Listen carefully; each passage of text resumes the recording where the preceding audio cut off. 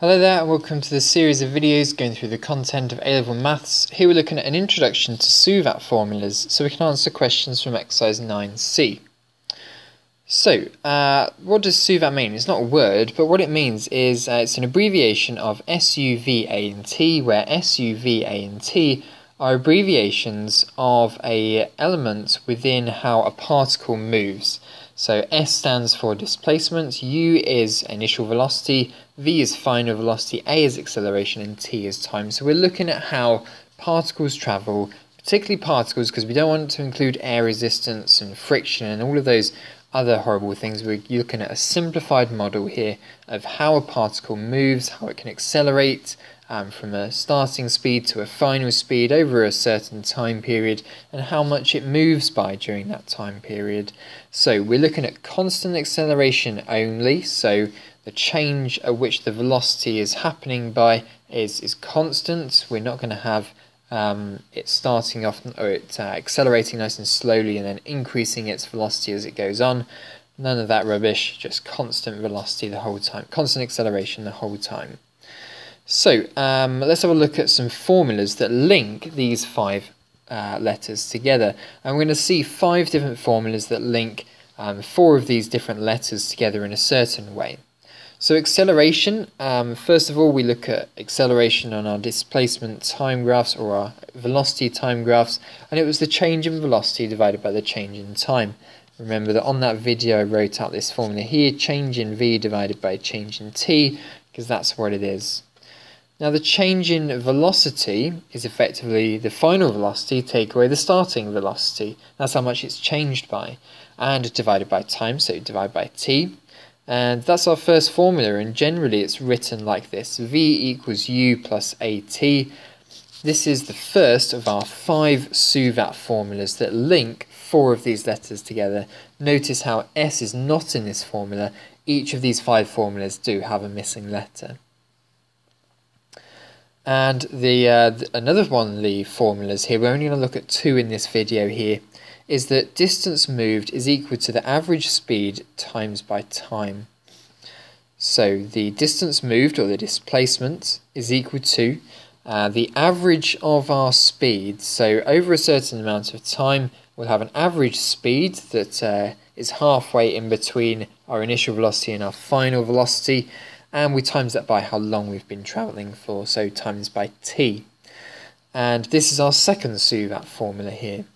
Uh, another way of looking at the second one here is by the formula um, for the area of a trapezium. Notice how it's a trapezium on its side. Uh, this here is A, this here is B, this here is T.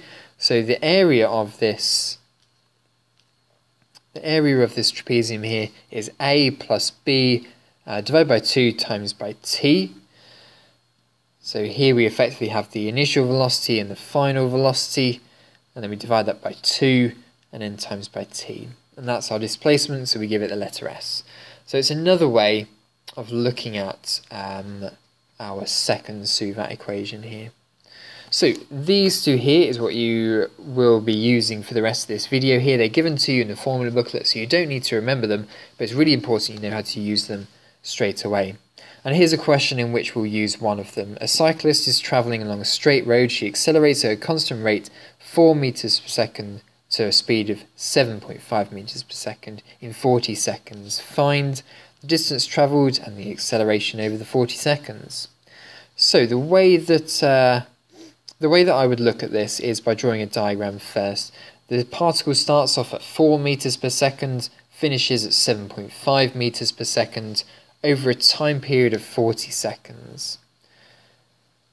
Okay, so what we're looking for first is to find the distance travelled. So in this case here, we're probably going to be using the second one, but it's always a good idea to write out SUV, A and T and substitute in the numbers that you found from reading the question above. So S is unknown, U is 4, our starting speed, V is 7.5, our final speed, A we don't know, and T, the amount of time we've travelled for, is 40 seconds. So applying SUVAT for the first question here, which formula are we going to use? Well, it's the formula that links these four letters together, S, U, V and T, and it's this one here, the second one. So substituting our numbers into this formula here and finding out the answer, and we get 230 metres. Now it's not always going to be the case that you'll be finding this letter that starts the formula off. You could be finding V and you might know S, U and T. You just have to do a bit of rearranging after substituting in your numbers. So the first answer here is 230. Uh, part B is find the acceleration. So replace S with 230 here.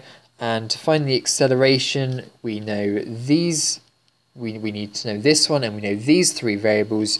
So we must be using the first of our SUVAT formulas. So substituting in the parts into your formula, and notice here how we're trying to find A. It's not at the start of the formula, so we may need to do a little bit of rearranging. So subtract 4, uh, this should be here 3.5, and divide by 40, uh, so that's 3.5 divided by 40, oops, 3.5 divided by 40 and we get yeah 0.0875 right then so that's the answer to that question then. So um, let's have another look at this one here. A particle moves in a straight line from point A to B decelerates at 1.5 meters per second squared.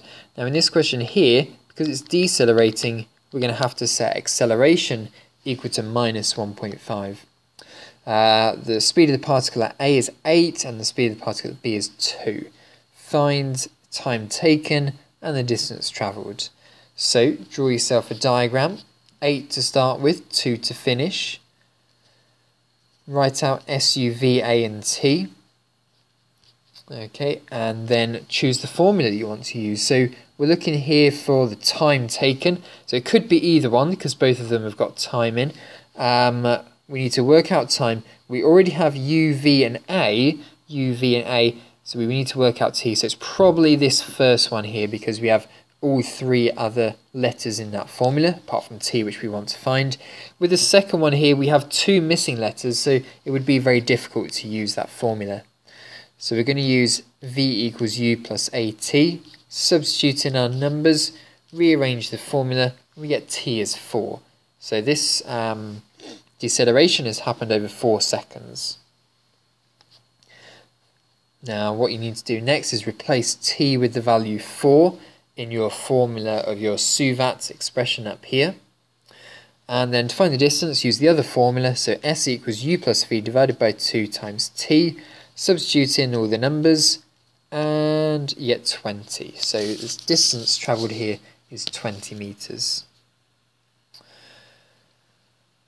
Okay, so there's another part to this question. Now, after reaching B, the particle B continues to move along a straight line at the same deceleration.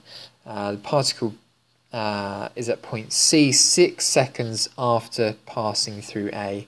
Find uh, the velocity of particle at C and the distance travelled from A to C. Okay, so uh, the velocity travelled at C, so using a diagram we'll continue this particle on until it's got an unknown velocity. Uh, six seconds onwards from here, and it's the same deceleration rate that we had before. So try your best to plug these numbers into your formula. Your starting speed is still 8, but you don't know how, where you're finishing at, um, where or how fast you're travelling at. Um, this is six seconds after passing through A, so everything is always relative to A in this question here.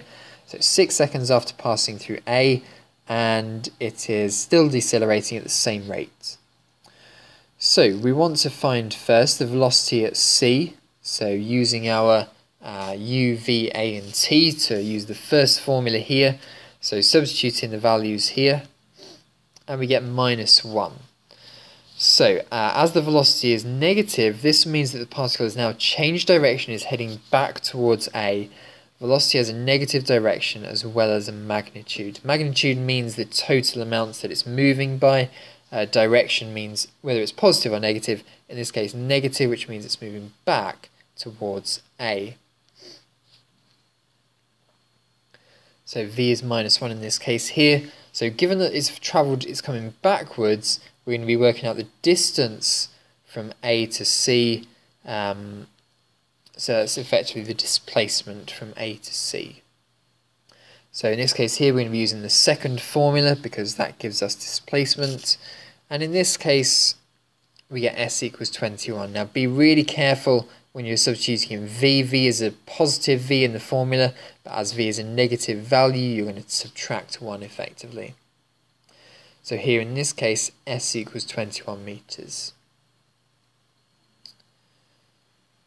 So it's 21 metres uh, from A to C. Uh, it's not travelled 21 metres in total because what will have happened is it will have travelled a certain distance and then come back round on itself but uh, the displacement from A to C is 21 metres. So it will have travelled further than 21 metres but the total distance from its starting point to its end point is 21. Alright then, so your turn to have a go at these two questions here now. Pause the video and try them out.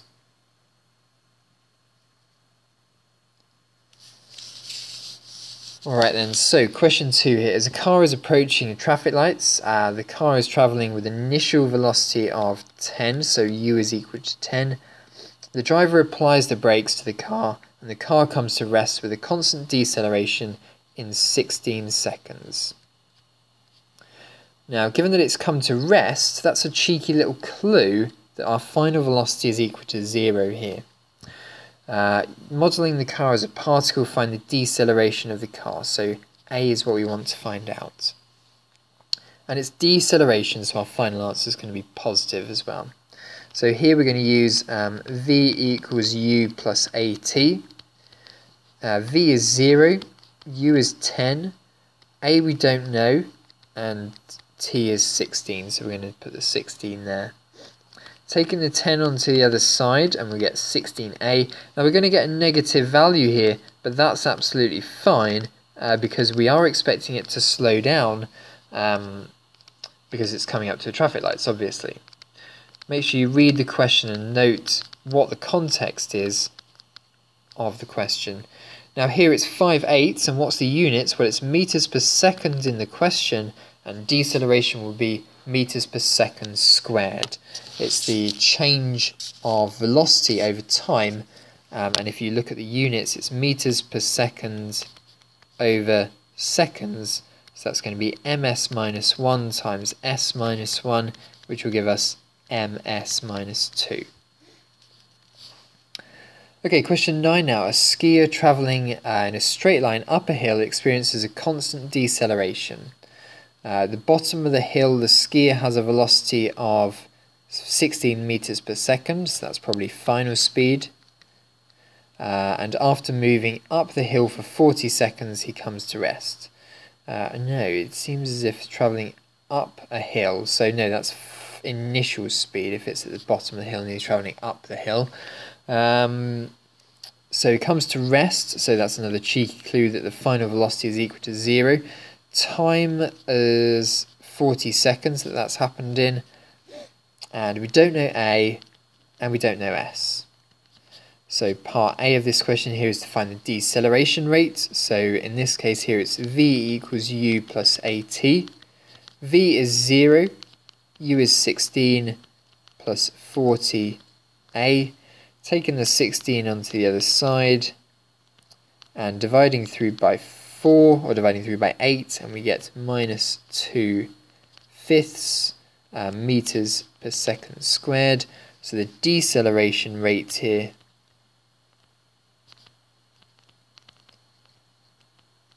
is equal to 0.4 meters per second squared. Part B, the distance from the bottom of the hill uh, to this point where the skier comes to rest.